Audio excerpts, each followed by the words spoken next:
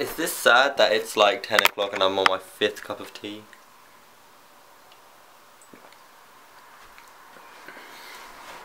Hey guys, look what I can do! Too short? No? Okay. And I'm also wet because the moment I step outside it starts raining. It just looks like I'm just been peed on with see-through pee. I'm gonna stop there. So yeah, I thought about um, doing errands today because I had to do errands and then it just started raining and I'm just like, oh no, I'm not going to do them anymore. So that's really that.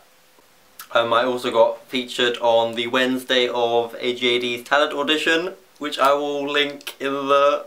Also, on the news today, um, there was a news thingy um, about the an exam board um, setting on a exam impossible question. Isn't that great?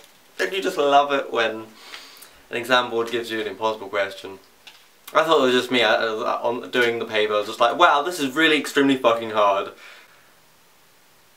I am not posing. Do you want me to model my hair? Are you ready? You ready? Oh yeah. Oh yeah. Oh, this is why I'm making sex noises. I have no clue. I just did a twirl.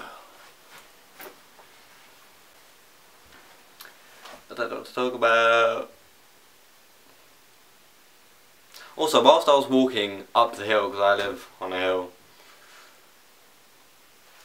whilst walking up the hill looking like a damp rodent, people were just like looking at me like I have a disease that is... I'm not happy. I'm not a happy bunny. Who the fuck is that? Ugh! I don't know what talk about. Mm, I'm a bunny. I'm sorry for the fail that happened yesterday, because you know the um, the nerdy thing, and then I was I was like, it was great. my, it's my first time masking, so give me a break. Shit, I'm babbling. I have a slight wedgie, and I will see you guys later. Peace.